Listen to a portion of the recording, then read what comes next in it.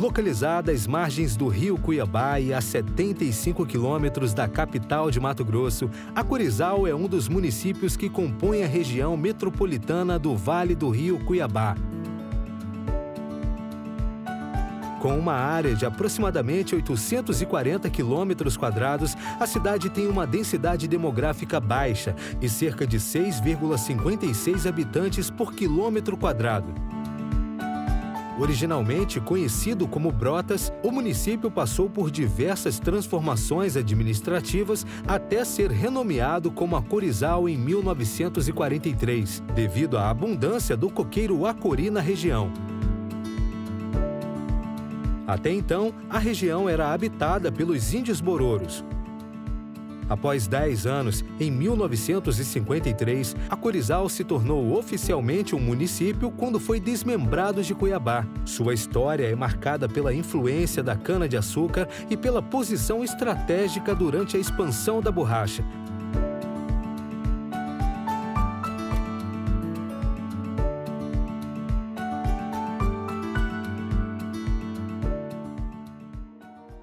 A povoação aqui da, da região, ela marca no, o ano de 1817. Historicamente, popularmente, né, disse que chegou uma, duas famílias aqui na região e, e assim come, começaram a, a, conviver com os índios da época, né, os índios bororos. Então, essa chegada marca também que essa família trouxe uma imagem, a imagem de Nossa Senhora da Guia, e no momento de, de preces, né, de que estava passando por necessidade, o filhinho estava doente de uma das famílias e a vaca leiteira que eles tinham, que era para o sustento da família, desapareceu. E conta-se que é, no, eles tinham um, um, local, um oratório, em que tinha um, um topo seco de lixeira, onde eles fizeram um altar e deixando ali a imagem. No, numa noite, fizeram suas preces e é, foram dormir. No outro dia, o toco amanheceu brotado. É, e aqui que está a mudança né, da devoção, é, da, da, devoção a, de Nossa Senhora da Guia para Nossa Senhora das Brotas por causa do broto. A nossa paróquia ela já foi, já foi criada é, em 1833. Então a paróquia já estava criada. Significa que de 1817 até 1833 cresceu muito, né? E na nossa ata de criação né, está escrito, né? Então é que poderia se criar uma paróquia porque já tinha a igreja, já tinha o, o, a pia batismal e também já se tinha o cemitério. Então, ou seja, era critérios para que criasse uma paróquia, né? E, e assim, nós não temos documentalmente a data da construção dessa igreja, mas sabemos por documentos que em 1833 a igreja já estava construída. Essa igreja passou por modificações, né, é, ao longo da história, né, mas o, a, a base dela, sobretudo essa parte de trás aqui, é a mesma de 200 anos atrás.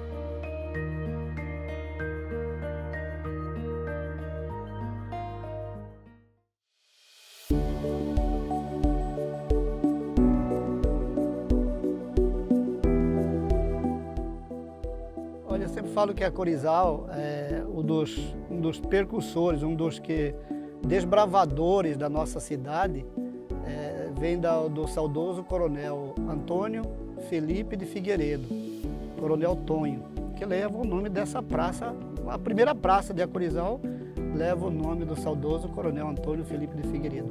O coronel, é, na época do coronelismo, que ainda era Arraial de Brotas, ele praticamente ele desbravou isso aqui.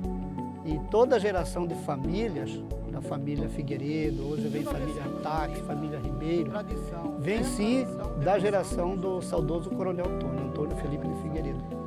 O coronel, ele, ele mantinha aqui na. Hoje tem o Centro Cultural Brotense, eram casarões que ele mantinha e tinha a propriedade dele, a fazenda dele, a área na beira do rio, do outro lado do rio. Então ele tinha. A pecuária era pouco e, e a agricultura era mais de subsistência. Mas ele mantinha uma agricultura aqui, como também os filhos dele, para quê? Antigamente, você não tinha estrada aqui para Cuiabá. A escoação da, Para escoar essa produção, meu pai dizia que era através de bartelões. Os bartelões, quem produzia arroz, quem produzia farinha, os bartelões aqui na, nas barrancas do rio Cuiabá e descia até não sei quantos dias que era para chegar até no porto, lá no porto em Cuiabá. Então a economia basicamente aqui era essa, era essa troca de mercadoria. Vivia daqui, passava daqui e levava para lá nos bartelões.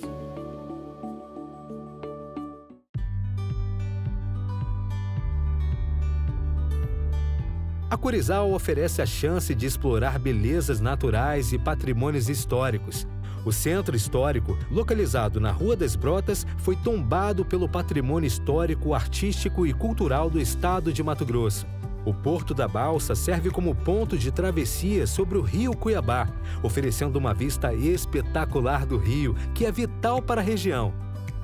A Cachoeira do Macaco, localizada a 30 quilômetros do centro da cidade, é um refúgio natural de águas cristalinas. A cultura de Acorizal é profundamente influenciada pela região, com uma predominância do catolicismo refletida nas festas tradicionais e celebrações locais. Das antigas fotos, né? A antiga foto que eu tenho no meu arquivo, são festas de São Benedito, 1930. Ah, nós somos aqui três festas, chamada Festa Grande é chamada Por que, que o pessoal pergunta, por que, que festa grande? Era festa de santo, mas por que, que o nome festa grande veio? Porque é uma estrutura que tem essas festas. A festa grande, ela vem é, Nossa Senhora, que é a Nossa Senhora de Brotas, que é a padroeira daqui, Senhor Divino Espírito Santo e São Benedito. Isso a Corizal, a sede. Aí mais tarde veio distritos, Baús, distrito de Baús, que também é de Acorizal. Nossa Senhora da Imaculada Conceição, Senhor Divino e São Benedito. Aí vem a Vila da Aldeia, distrito de Aldeia, certo? Falava engenho, aí passou aldeia. Também Nossa Senhora de Santana, Senhor Divino e São Benedito.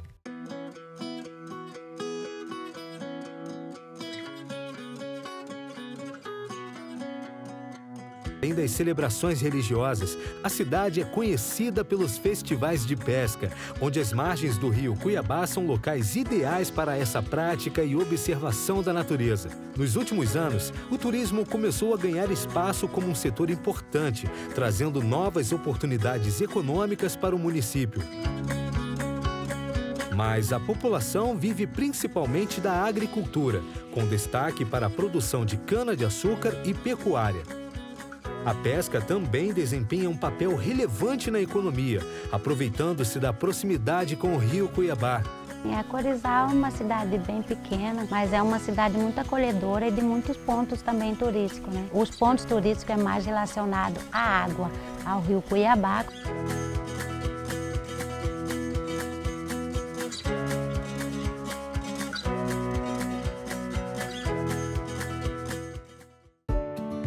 É, aqui na cidade de Acorizal, a economia movimenta através da indústria de gelatina, né? Tem também a, a, parte da pecuária, que é movimentada tanto pelo leite como o, o rebanho de corte. A agricultura mais familiar, né? É, da, do pequeno produtor.